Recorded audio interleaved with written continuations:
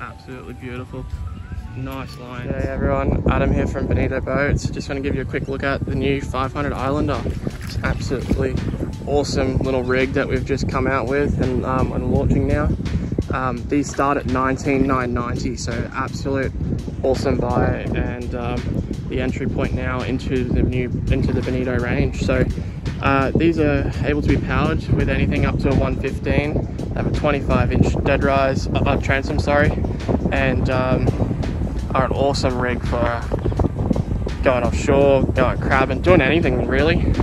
Um, down the back on this one, we've got a transom step on the port side. We can do the same as all the other Bonitos, um, transom steps on both sides. Um, so we also got a beautiful neon green. This absolutely pops outside. So happy with the way it come out. The mold. Um, same Bonito construction, so all fully fiberglass together, full composite, fiberglass stringers, tough as nails, um, unbreakable, 10 year hull warranty, um, never have an issue. Um, inside, down the back, we've got twin seats, and under those twin seats we can fit two 24 litre tote tanks, so really great fuel range on this one. There's no underfloor fuel tanks in these this model, so um, that's why it is 19,990.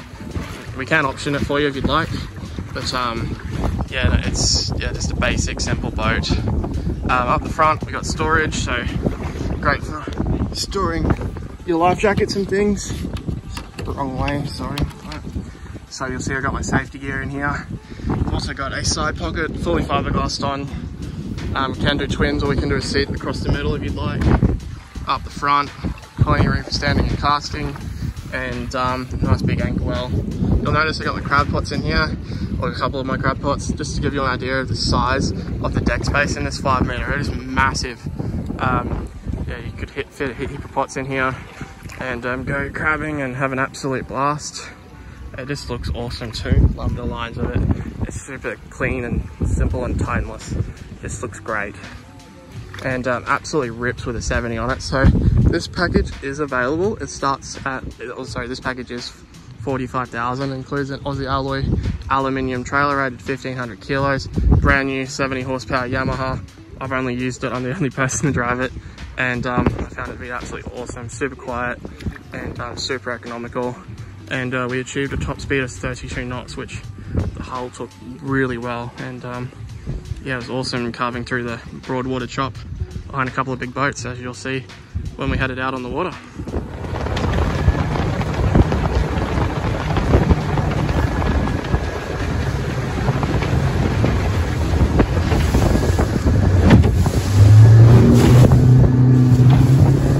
Oh, with ease, I didn't feel anything. It's so smooth. That's good fun.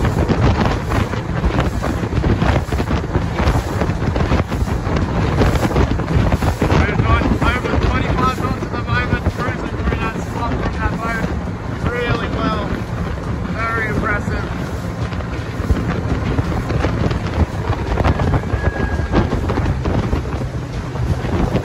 Do some turns. That was so easy, the arm was so easy to move, easy to control, super responsive, everything. Look at that, wow.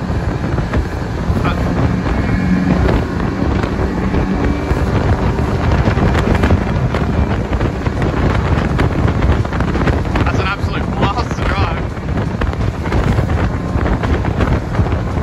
This issue, let me know and um, we'll uh, get you an awesome boat. If you don't like the green and you want to build one another color or just white, we can also do that as well. So um, yeah, if you're interested, please let me know. Uh, looking forward to hearing from you and um, we'll see you out in the water.